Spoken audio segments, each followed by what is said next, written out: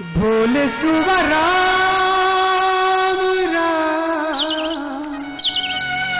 है जीव पैरट सुवा तोता माने वो अपनो मन अपनो जीव। बोले सुवर राम। राम मीराबाई रो भजन है।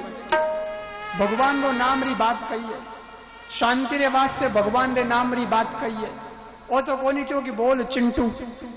चिंटू चिंटू चिंटू चिंटू चिंटू चिंटू करना तो कोई शांति मिले कोई। उल्टी अशांति हो जावे। याद आवे, डिप्रेशन में आ जावे आदमी। लेकिन भगवान का नाम लेगा ना तो शांति मिल जाएगी।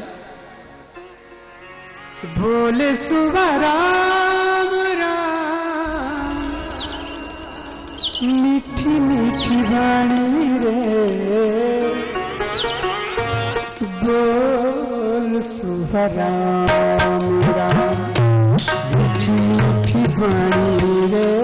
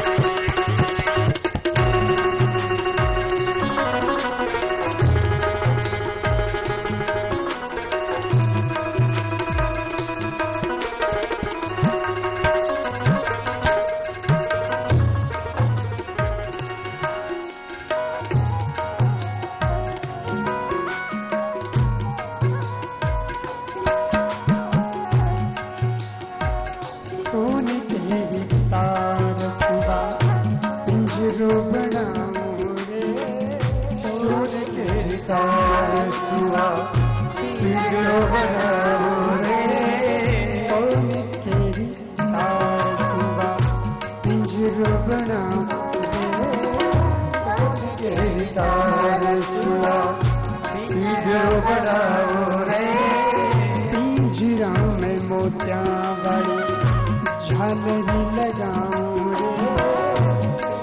हमें मोतिया वाली झालरी लगाऊँ रे पिंजरा में मोतिया वाली झालरी लगाऊँ रे पिंजरा में मोतिया झालरी लगाऊँ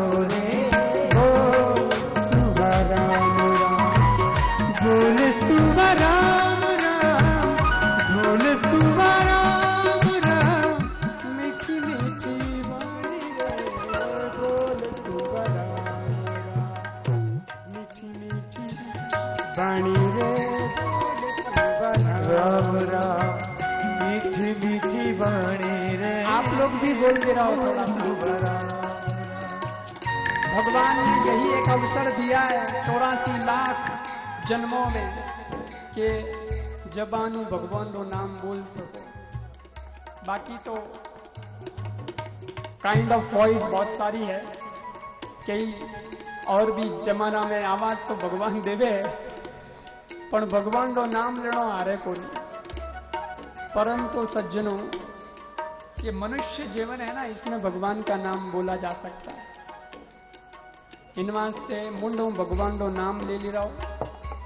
ताली भी थे अटेज बजा सको, क्योंकि हाथ मिनक नहीं जी मिले। बाकी तो चार पग ही जुए इन वास्ते थोड़ो मूछो सवाल मत राख जोटे। अटे मैं तो बजे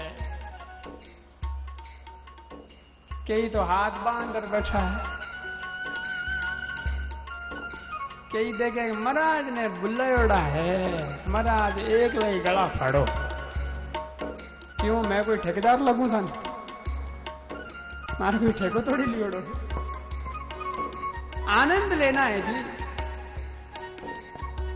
कहीं बुल्लयोड़ा और कहीं सब अपनी तो बात है। ये आयोजन भी आपका है। थे नहीं आया वे तो महाराज, मैं करा कहीं। और सज्जनों, महाराज आ गया।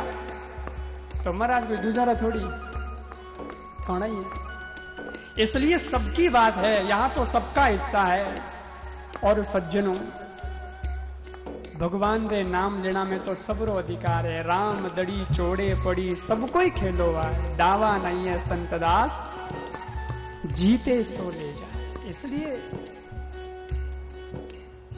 थोड़ी ताली बजावनी उन फ़र्क पड़े शरीर माते। हिसाब हो, हमार भजन आयोजन। ताली बजाने से मैं आपने बताऊँ, गड़बड़ रेखा सही हो जावे। ते कोई ज्योतिष ने हाथ दिखाई, जो ज्योतिषी हाथ देखेला तो वो केवला भैया, और तो सब ठीक है पर आप रे रव वाली रेखा थोड़ी गड़बड़ लागे है। कोई कई सारे सनी गड़बड़ है। कोई बात नहीं। आप तो कथा में पधारजो सत्संग आवे, कथा में भजन आवे, कीर्तन आवे, कोई ताली बजावे, जड़ी बढ़िया बात आवे, उन टाइम हो समझ कि हाँ भैया के समर्थन देवे जड़ी बात आई है। तो बी टाइम ताली बजा सको और भजन कीर्तन आवे जने तो चूकड़ो ही नहीं। और प्रेम उताड़ी बजाइए हाथ दिन प्रेम उताड़ी बजाजो पचे कहीं पाछो ज्योतिषी मिले जने पाछो हाथ दिखाई जो हमें देखजो तो देखा नहीं अरे वो ज्योतिषी हाथ देखेला हाथ देखेला तो वो कहेला अरे मेरे कल हो गया चमत्कार आप रे तो शनि वाली जकी रेखा ही वहाँ गड़बड़ रेखा ही मिट गई समाप्त तो हो गई कथा में कीर्तन में ताड़ी बजाने से वो फायदो है कि गड़बड़ रेखा सही हो जावे जको ताड़ी बजावेला, उनी गड़बड़ सही रेखा सही हो जाला। पर जको नी बजावेला नी, उनी सही भी गड़बड़ हो सके, मने नहीं थाय इन वास्ते अगर सही करनी होवे तो बड़े प्रेम से बजाजो। दूसरी बात, ताली बजाने से पॉइंट दबिया करे। एक्यूप्रेशर थेरेपी होती है ना, उसमें सब बताते हैं कहाँ कौन सा पॉइंट है। पूरा ए अपना दो हाथ पूरे शरीर ने कंट्रोल करे वो समझो थे કે પંખા કુલર બીજા અઠે લાગોડા હે પણ સ્વિચ અઠે હે એ હાથ જકા હે સ્વિચ બોર્ડ હે इन वास्ते पूरे शरीर रो कंट्रोल हाथा में पगा में दियोड़ो तो यूं तो कोई था पड़े कोनी रियो कोई ताली बजावे कोनी रियो जे ताली बजाई नहीं बटो बटो खाली तो लोग उन्हें गेलो के बल्कि दूजो समझी मोकारी चीज मौका मत ही बढ़िया लागे लेकिन अगर यहाँ कीर्तन में ताली बजाओगे तो पुण्य तो मिलेगा, पाप तो कटेंगे, रेखाएँ तो सही होगी, पर शरीर भी सही हो जाएगा, कई प्रकार के रोग भी कट जाएँगे, स्वास्थ्य आपका बहुत बढ़िया हो जाएगा। अगर आपने विश्वास नहीं हुए तो योग गुरु बाबा रामदेव ने फ़ोन कर पूछ लीजिए। ताड़ी बजाने से रोग कटे। अब आप बिल्कुल सही बात है। एर मुंडो भगवान रो नाम लेनो भगवान रो नाम लेनो भी फ़ायदा है। सबू मोटो फायदो तो कि पाप निकल जावे, दूजो फायदो कि नींद आवती नहीं तो नींद उड़ जावे। क्योंकि देखो साहब, कथा होवे नहीं, वटे देवी देवता आया करे केवे भागवत में लिखो मात में। प्रत्यक्ष, अप्रत्यक्ष रूप से आते हैं। और देवी देवता आवे जगत दिखे कोनी पण, कोई बात कोनी पण। एक देवी एड़ी है कि बात उठा पड़े। बीर देवी रो नाम है निद्रा देवी। बा आवेदन था पड़ेगा, आई आइए कहता हुए बट तो अवेश करना हवे। बिना इनविटेशन कार्ड आ जावे। अरे बा आ जावे। तो डिस्टर्ब तो वही बचे। जन तो है कि ए नियम लगाया। आपको एक बात बताऊँ मैं आप इंटरेस्टिंग बात है। समझने जैसी बात। श्री राम जी कुंभकर्ण ने मार दियो। तो जब कुंभकर्ण ने मार दियो तो कुंभकर्ण की पत्नी निद्रा देवी राम जी ने कने आज रोवा लगी। वैसे कुंभकर्ण की पत्नी दूसरी थी, लेकिन नींद को भी उसकी पत्नी बोलते हैं, क्योंकि छह महीने तक वो सोता ही रहता था ना तो सबसे ज़्यादा नींद उनका नहीं रहती, जन लोग बिन बिन लुग ही बोले। जन वह निद्रा देवी आई, राम जी ने रोवन लागी, ये क्या किया राम जी, आपने मेरे पति को मार दिया, और मैं आपसे बदला लेकर के रहूँगी मेरे पति की मौत का। राम जी बोले, श्रीमती निद्रा देवी, बदला बदला लेंगी आप, लेकिन लेंगी कैसे? निद्रा देवी ने कहा, आपके वैकुंठ लोक में अगर ताला नहीं लगवा दिया तो मेरा नाम नींद नहीं है। भगवान के वैकुंठ लोक में तालो लगाओ, की कर? नींद क्यों पहला हो तो बताओ कि थोड़े वैकुंठ लोक में जावे कौन राम जी क्यों जावे तो वही है जगह प्रेम मारी कथा सुने। जो प्रेम से कथा सुनते हैं, मगन होकर के वो वैकुंठ लोक में जाते हैं लास्ट में। निद्रा देवी कहो वही तो उपाय है। हमें जटे थोड़ी कथा हो रही वेला, लोग बड़े प्रेम मगन और सुन रिया वेला, मैं जा पर हूँ, बैठे। ओले, गण मत मजार बैठ जाऊँ। आई जेरा लोग खुद लागी बेरो, कोई कथा होने को नहीं वैकुंठ लोक में कोई जावे को नहीं जावे को नहीं जन वैकुंठ लोक में ताड़ो लाग जाए, क्योंकि खाड़ी गोदाम में तो ताड़ो ही लगे। बस, मेरा जो इंटेंशन है, वो पूरा हो जाएगा। राम राम जी ने कहा, निद्रा देवी अच्छा है। आपकी प्लानिंग तो अच्छी है, योजना तो बहुत बढ़िया बनाई थे।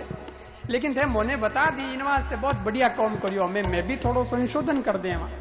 जो हमारे वक्ता है, कथा करने वाले, और जो कथा का नियम होता है, कथा का भी अपना संविधान है। उन हिसाबों चाले। तो उनमें थोड़ा सा संशोधन करवा दे वहाँ, बोले, कई, बोले कथा वाचकों को कह देंगे, कथा तो करो, ज्ञान भी बता तो बताओ, ठीक है, बढ़िया बाता है।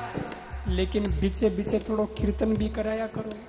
आध भजन भी गाया करो। यूँ कहीं गई, यूँ वे यो कि निद्रा देवी जिन पर आपका असर होगा, कोई कथा में नींद ले रहे होंगे पर वक्ता जैसे ही भजन गाएगा, कीर्तन गाएगा तो उस वक्त वो कीर्तन सुनेगा, ताली बजाएगा, नाचेगा, झूमेगा, बोलेगा, गाएगा।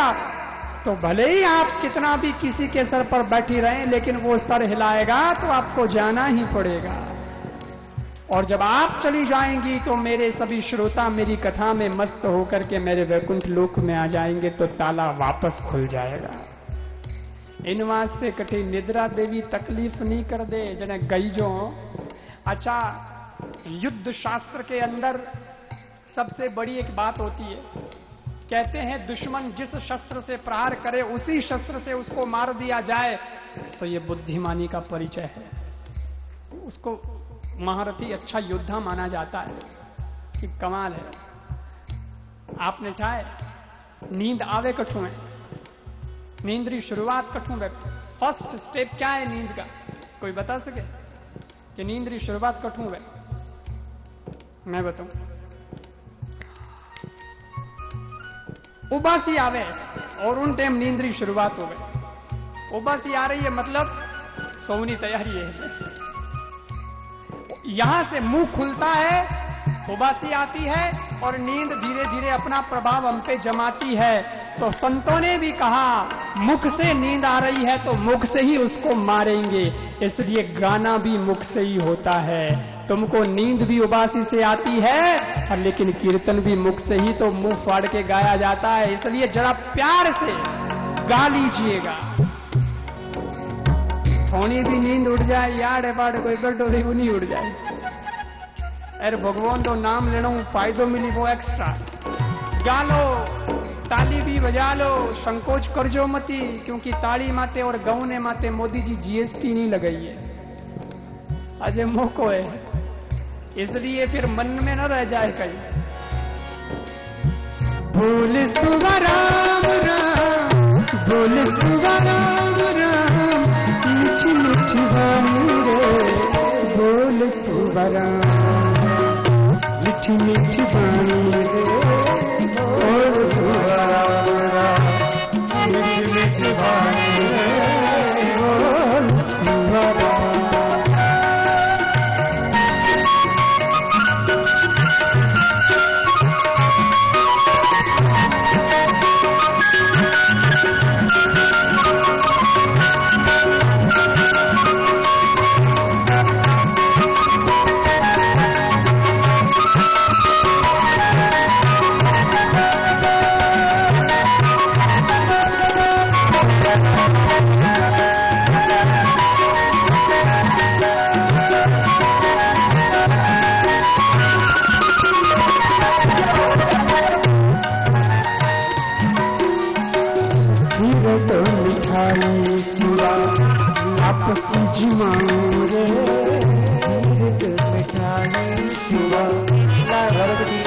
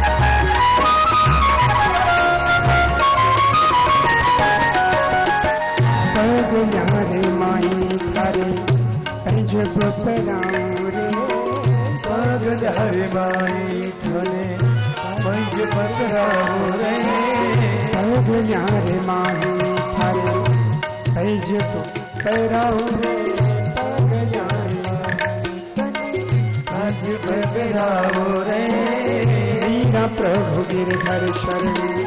आया सुख पाऊँ रे मीरा प्रभु गिरधर शरण। आया सुख पाओ रे मीरा प्रभु गिरधर शरण। आया सुख पाऊँ रे बोल सुबह राम राम बोल सुबह राम राम मीठी मीठी वाणी बोल सुबह मीठी मीठी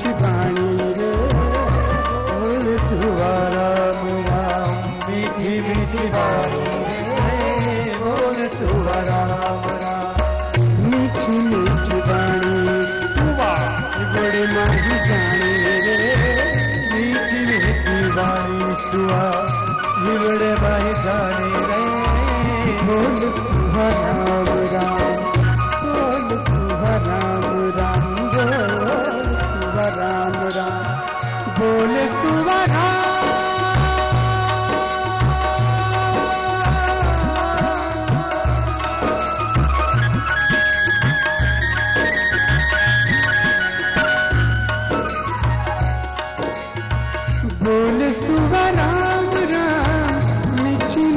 तो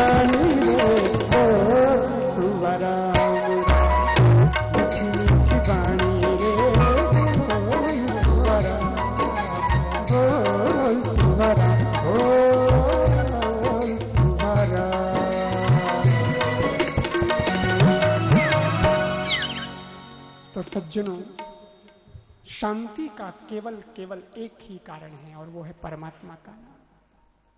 इन व्यास जी तो शांति चाहिए थे भगवान की गाथा गाओ। परमात्मा लीला गान गुणगान रो बखान करो। नारद जी आपरे पूर्व जन्म री कथा सुना, व्यास जी ने चतुश्लोकी भागवत दिव्य का ये है विस्तार करने के लिए आपके पास। और आदरणीय वेद व्यास नो विस्तार करियो, बारह स्कन तीन सौ पैंतीस अध्याय अठारह हज़ार श्लोक रो भारी भरकम भागवत महापुराण बनायो। और फिर आदरणीय वेद व्यास जी, वो भागवत महापुराण आप पुत्र सुखदेव जी ने दियो, वे तो वन में हाँ। परंतु भागवत रा श्लोक सुनाया तो श्लोका सो खिचोड़ा आदरणीय सुखदेव स्वामी पाछा आया, सज्जनों अठे और फिर कहो कि पिताजी, मुझे भागवत का अध्ययन कराइए, विल तैयार करिएगा, और आप बूढ़े हो गए हैं, जिसके नाम जो लिखना है, वो वसीयत में लिख दीजिए, पर ये भागवत महापुराण पिताश्री मेरे नाम लिख दीजिए, और मुझे कुछ नहीं चाहिए। आदरणीय वेद व्यास जी, भागवत रो ज्ञान सुखदेव जी ने दियो। सुखदेव जी भागवत रो ज्ञान प्राप्त कर वन में गया, नितांत निर्जन वन में कृष्ण भक्ति में लीन हो गया। समय आने पर एज सुखदेव जी परीक्षित जी ने सात दिन में भागवत सुनाई और वे मुक्त हो गया, सज्जनों। तो ऋषि मुनि सूत जी ने पूछियो महाराज, भागवतरा वक्ता सुखदेव स्वामी रो जीवन इतो श्रेष्ठ, निर्मल, दिव्य, पावन, पवित्र, महान है। तो भागवतरा श्रोता जो परीक्षित जी है, ब्यारो जीवन भी तो कोई कम नहीं व्याणे बारे में भी तो आप कुछ कहो कि उनका उनका जीवन कैसा? यानी सात दिन में मृत्यु रो शाप क्यों लग गयो कई घटना व्याने जीवन में घट गई, जिन्हीं वजह से ब्याने सात दिन में मृत्यु रो शाप लग गयो और एक ऋषि ने उनको शाप दे दिया, क्या गलती उनसे हो गई? और उनका जीवन कोई ऐसा वैसा जीवन तो था नहीं, इसलिए क्यों ऐसा हो गया? ये भी तो एक प्रश्न है। इन वास्ते सुखदेव जी अगर महान हैं तो परीक्षित जी भी मानी दृष्टि में महान है। थोड़ो ज्ञाने बारे में भी तो आप बताओ, लेकिन आदरणीय सुखदेव सूत जी महाराज ने कहा, ऋषियों, मैं उनके बारे में आपको बताऊँगा। कल सवेरे नौ बजे, हम कल सवेरे नौ बजे इस प्रसंग को आगे बढ़ाएँगे और ये सुनेंगे कि भागवत की कथा में सुखदेव और परीक्षित का मिलन कैसे हुआ। और सज्जनों कई किन वजह से फिर सुखदेव स्वामी भी भागवत कथा सुनौने वास्ते पधारिया ए सारा प्रसंग और भग, भागवत महापुराण का अन्य जगह प्रसंग है उन वर्णन अपन लोग काले प्रसंग में दिखाला। आइएगा जय जयकार। लेकिन जब तक आरती नहीं हो जाए तब तक अपना स्थान न छोड़ें थोड़ा सा धैर्य बना के रखिएगा। सब प्रबुद्ध लोग हो। इन वास्ते आप सब लोगों से तो अपेक्षा है।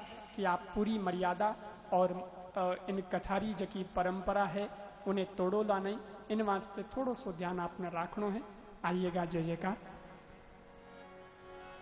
बोलिए श्री बाल कृष्ण भगवान की जय सदगुरु देव की जय श्री सुखदेव जी महाराज की जय श्री परीक्षित महाराज की। जय श्री अनंत श्री दरियाव जी महाराज की जय।